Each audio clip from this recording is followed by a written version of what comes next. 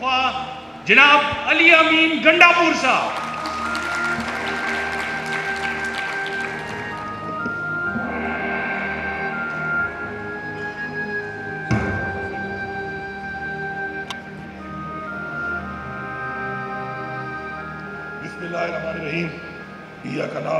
का हमारे अजीम शहदा के बाहिमत लवाकिन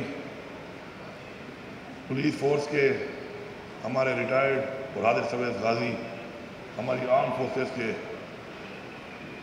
रिटायर्ड और हाजिर सर्विस गाजी स्पीकर साहब मुजद बुजरा साहिबान चीफ सेक्रेटरी साहब, सरकारी अफसरान और यहाँ पे मौजूद तमाम मकतब फ़िक्र से ताल्लुक़ रखने वाले मुझे हाजरी ने महफिल असलकुम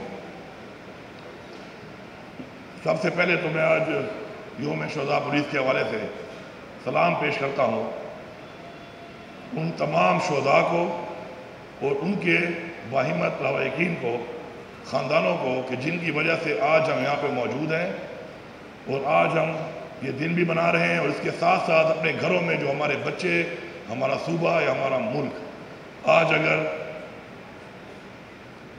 कायम और दायम है तो उसकी वजह यही लोग हैं। और जितना भी हम इनको खराज तहसीन पेश करें, वो कम है। क्योंकि हमेशा ज़िंदगी में याद रखें कि अपने आप को उस जगह पर रख के फैसला किया करें। जब आप अपने आप को एक जगह पर रख के फैसला करेंगे तो फैसला हमेशा बेहतर होगा। और उसका एहसास भी ज़्यादा होगा। और मैं ये समझता हूँ कि बाज़ात बहुत सी चीज़ों में हम अल्लाह ताला ने हमें बार बार तलकीन की है, सब्र की। लेकिन हम सब्र नहीं करते और बाज़ात हम कुछ ऐसी लाइन क्रॉस कर जाते हैं, किसी एक शख्सियत, किसी इनफरादी, किसी किसी अमल से, कि जिसमें हम उन बातों का एहसास नहीं करते कि पूरे के पूरे निज़ाम के अंदर जो कुर्बानियाँ हैं, जो वजूहत हैं जिनकी वजह से, जिन लोगों की वजह से हमारा अमन हमारा माशरा कायम है तो उस एहसास को जिस दिन हम दिल से महसूस कर लेंगे तो मैं समझता हूँ कि उस दिन हम एक अजीम कौम बन जाएँगे। हमारे इस सूबे के अंदर बिलखसूस और पूरे पाकिस्तान में, मैं समझता हूँ कि हमारी पुलिस, और चूँकि मैं खुद भी एक फौजी का बेटा भी हूँ, और एक फौजी का भाई भी हूँ, हमारी फ़ौज हमारे तमाम वो महकमे जो इस वक्त सर्विसेज़ दे रहे हैं और उसके अंदर मुख्तलिफ़ महकमों के वो लोग, जिन्होंने शहादतें दी हैं in the line of duty और साथ साथ हमारी आवाम कि जो इस दहशत गर्दी की जंग में कुर्बानियाँ दे रही है, मैं उन सबको सलाम पेश करता हूँ।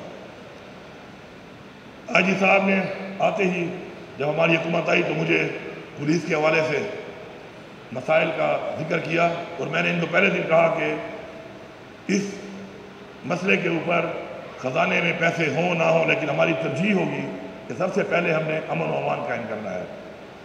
और उन्हीं बुनियादों पर जो भी इन्होंने डिमांड की, हमने कभी भी इनको ये नहीं कहा कि इसको कम कर दें, बल्कि मैंने ये कहा कि आप मज़ीद भी लेके आए इन हम और अपनी तरजीहत को कम करके, इंशाल्लाह इसको तरजीह देंगे, क्योंकि जब तक हमारी फोर्सेस मज़बूत नहीं होंगी जब तक अमन कायम नहीं होगा, तब तक हम एक खुशहाल सूबा नहीं बना सकते।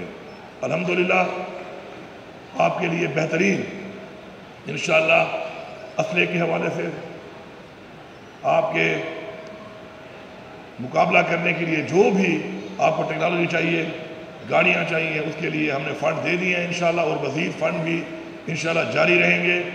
मैं यहाँ पे ये ऐलान करता हूँ कि जिस तरीके से आजी साहब ने ज़िक्र किया कि पुलिस के जो शोदा हैं, उनका जो एस का जो कोटा है, उनका तमाम शोदा का, चाहे वो पुलिस में है और चाहे हमारा जो अब मर्ज डिस्ट्रिक्ट है, वो भी अब सूबे का हिस्सा है।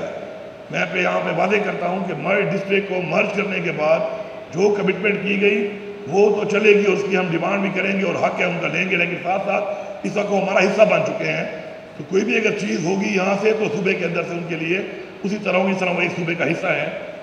और इस तरह हमारे जो वहाँ पे खासादार लेवीज हैं, उन सब का मैं ऐलान नहीं कर रहा।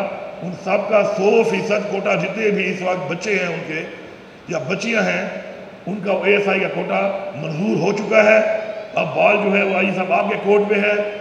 जल्द से जल्द मैं ये चाहता हूँ कि ये सब के सब एस आई हंड्रेड परसेंट कोटे के मुताबिक हैं, इनको अपने ऑर्डर मिले ताकि ये अपने वालदेन की जगह पर आकर एक तो उनके लिए एक एग्ज़ाम्पल बने, मिसाल बने कि जो आगे लड़ रहे हैं, इस जंग के अंदर कुर्बानियाँ दे रहे हैं और साथ साथ उस फोर्स में आकर उस फोर्स के लिए भी एक मिसाल बने कि अगर किसी का कोई प्यारा इस मुल्क के लिए अपनी जान दे गया है तो इसका मतलब ये नहीं है कि हम इस कुर्बानी से पीछे हट रहे हैं, बल्कि हम उससे आगे बढ़ के मजीद इंशाल्लाह कुर्बानियाँ दे के इस कौम के लिए इंशाल्लाह मिसाल कायम करेंगे।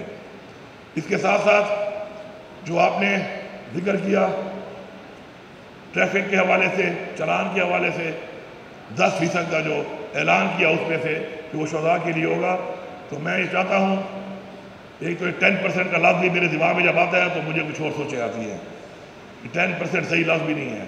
तो मैं ये ऐलान करता हूँ कि बीस फ़ीसद जो है उसमें से आपका जो वेलफेयर है शोधा के लिए दिया जाएगा और ये पैसा आपके पुलिस के फंड से नहीं कटेगा।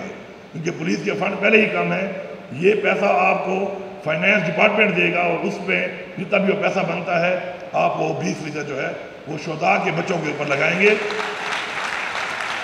ताकि हमारे शोधा के बच्चे किसी भी अगर फ़ील्ड में कुछ करना चाहते हैं तो उनके लिए कोई भी परेशानी नहीं होनी चाहिए, क्योंकि हमारे बच्चे हैं, हमारी ज़िम्मेदारी बनती है कि हम उनके बच्चों का अपने बच्चों की तरह ख्याल करें, क्योंकि ये जो कुर्बानी इन्होंने दी है, ये हमारे बच्चों के लिए दी है। मैं ये समझता हूँ कि हमारी जो पुलिस हाजिर सर्विस है, ये हर वक्त या हमारी फौज है, या हमारे जितने भी लोग इस वक्त फ्रंट लाइन में फोर्सेस के लोग मुकाबला कर रहे हैं इस चीज़ का तो ये हर वक्त एक ऐसे माहौल के अंदर आजकल की दहशतगर्दी के हालात में फेस कर रहे हैं कि किसी भी वक्त किसी भी चैलेंज या किसी भी तरफ़ से कोई भी गोली की तरफ़ आ सकती है। तो इनका जो जहनी तौर पे, जिस्मानी तौर पे जो इनका एक एक कैफियत होती है, उसको समझें।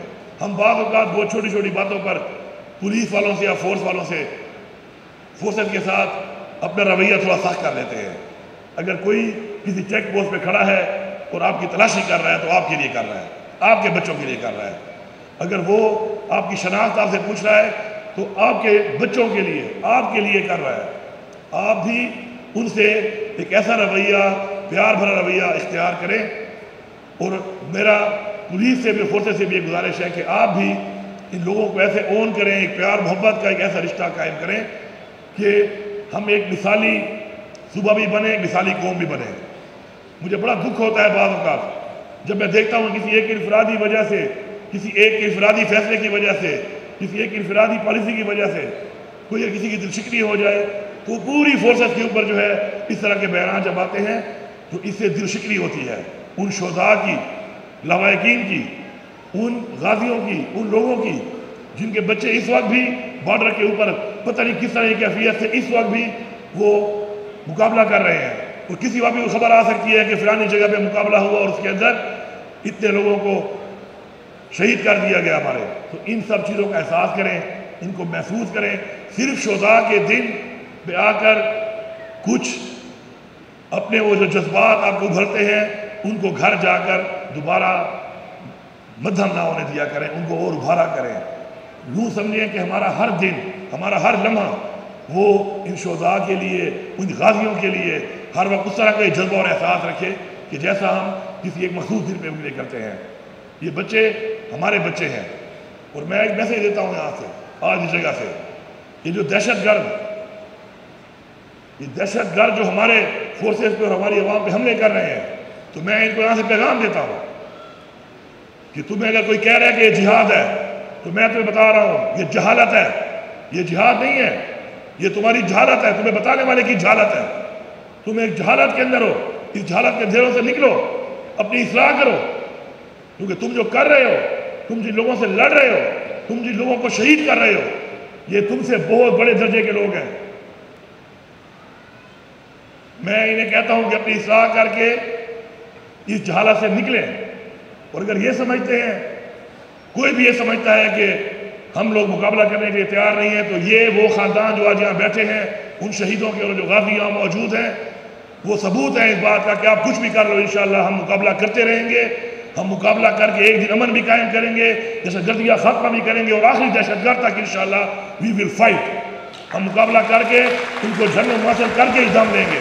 हम अपने शोधा के साथ हैं, अपनी फोर्सेस के साथ हैं। ऐसे ज़ाहिर लोगों के साथ जो किसी भी ज़ाहिर की लगाई हुई पट्टी के ऊपर अपने आप को जिहादी कहते हैं तो ये जिहादी नहीं, ये जाहलीत के अंधेरों में है। निकले इससे। अपने लोगों को मत मारे। और अगर किसी को जिहाद करने का बहुत ही शौक है तो फिर ऐसे उलमा मौजूद हैं, उनके साथ इनकी एक मीटिंग करा देंगे। अगर वो शौक है वो बता देंगे कि जिहाद कहाँ पे हो रहा है, उसके खिलाफ जिहाद जायज़ है। वहाँ पे जाके करें इसको। अपने मुसलमानों को, अपने भाइयों को, अपने उन लोगों को इस तरीके से मान कर अगर समझते हैं कि आपको दर्जात मिलेंगे तो कोई दर्जात आपके नहीं है। मैं यहाँ पर फ़ख्र से कहता हूँ कि मैं कैसे सूबे का वजी आला हूँ कि जिस सूबे ने फ्रंट लाइन की पाकिस्तान की हिफाजत की है। और आज भी कर रहा है इन और मुझे फ़ख्र है उन फोर्सेस के ऊपर, जो बॉर्डर से लेके हर कोने और हर चौराहे पे और हर चौक पे खड़े होकर हमारी हिफाजत करते हैं। हमने मिल के मुकाबला भी करना है, हमने मिल के इनको सलाम भी पेश करना है, हमने मिल के इनके मसाइल भी हल करने हैं। और मैं आज साहब से आज दोबारा कह रहा हूँ कि किसी तरह के भी हमारे अपने उन जवानों और अफसरान की सिक्योरिटी के लिए जो भी तरह का आपको कुछ भी चाहिए फ़ंड तो तरजीह बुनियादों पर इंशाल्लाह वो फ़ंड आपको मिलेंगे।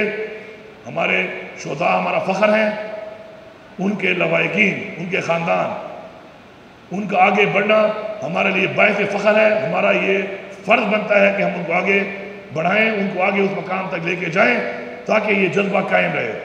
ये याद रखें कि मैं पूरी कौम को ये पैगाम दे रहा हूँ कि जब तक आप अपने शहीदों को उस तरीके का दर्जा नहीं देंगे तो उस वक्त आप याद रखें कि आपके लिए जो लोग कुर्बानी दे रहे हैं, वो उस वक्त तक कुर्बानी देंगे जब तक उनको एक मकाम मिलेगा। हमने उनको सबसे बड़े से बड़ा मकाम देना है।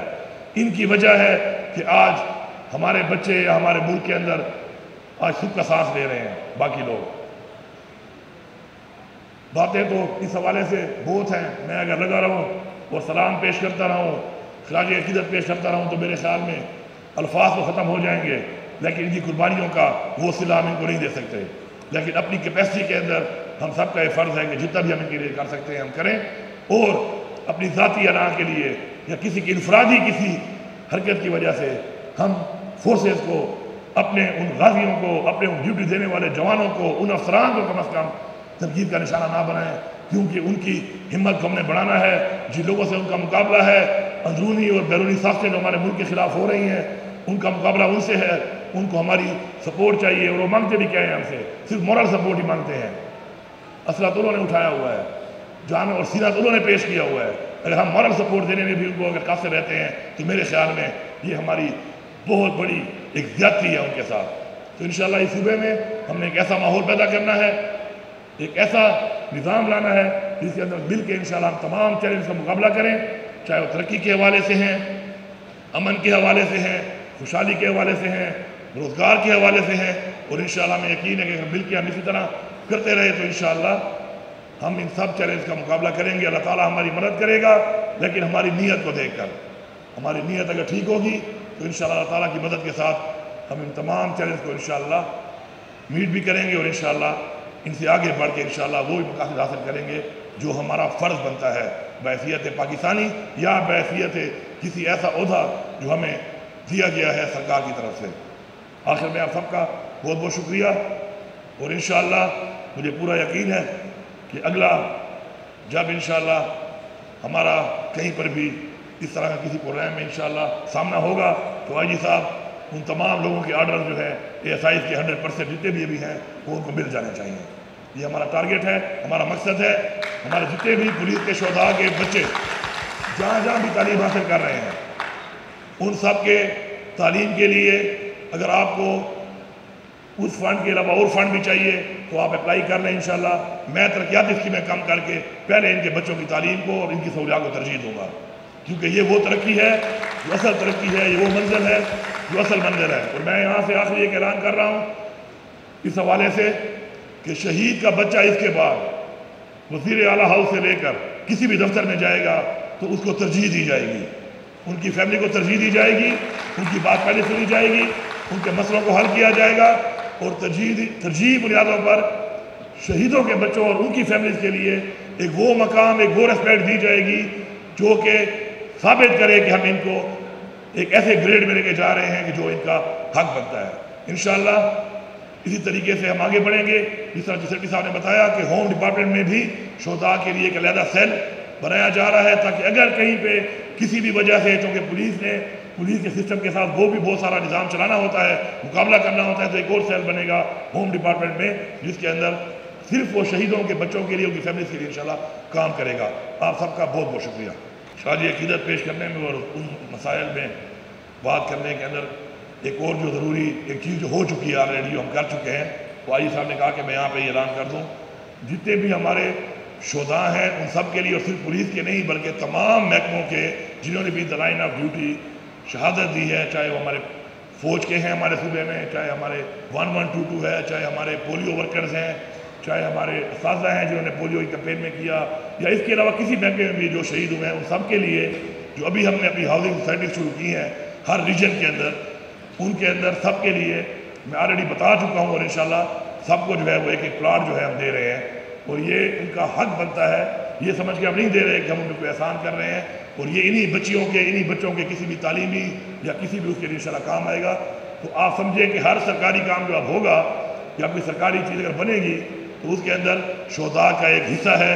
मैं कहना भूल गया था लेकिन ये हुआ हुआ है ऑलरेडी तो आज साहब ने याद दिया तो मुझे दोबारा आना पड़ा। Thank you so much so much sir बहुत बहुत शुक्रिया जी।